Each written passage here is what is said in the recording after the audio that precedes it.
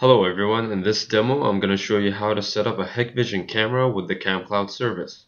So first thing you need to do is log into camcloud.com and go to the cameras page.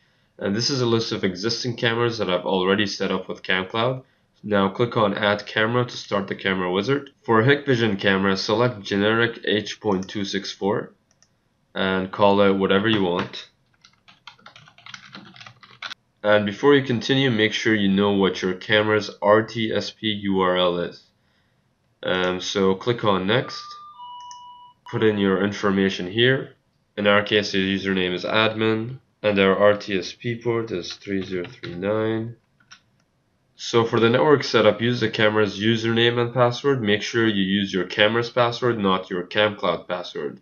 Uh, this is your external IP address here and this is where you want to provide your RTSP ports so that we can pull video from the camera. Then the RTSP path. In the case of Hikvision cameras, it's slash video.h264. I just took a look at the documentation from Hikvision, and this is what the RTSP URL looked like.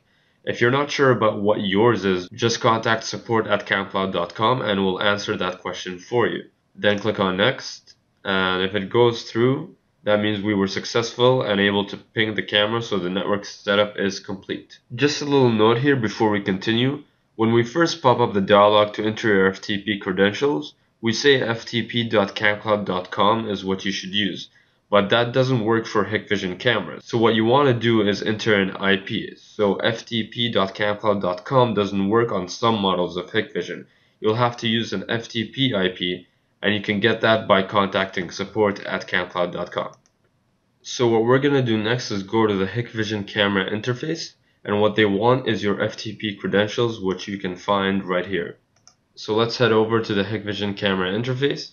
So once you're logged into this page, go to the configuration tab here then under advanced configuration click on network and then click on FTP over here. So what they want here is your FTP credentials that's where you want to put your username and your password and for some reason it doesn't allow you to copy and paste the password in.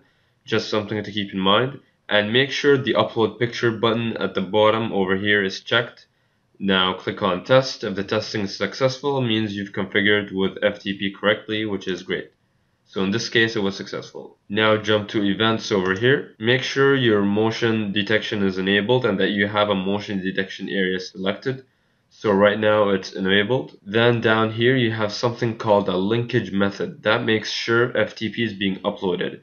Make sure you check the upload to FTP box over here. Now the last step is to jump to storage. Click on the snapshot tab here. And make sure you check on the enable event triggered snapshot checkbox. And that's it. Do this and you'll be set up and ready to use cloud storage with CamCloud and your Hikvision camera. Now when there's motion in front of the camera, you'll be able to see what kind of motion activity was captured by the device. So if you have any questions, contact us at support at camcloud.com and that's the end of the demo. Until next time.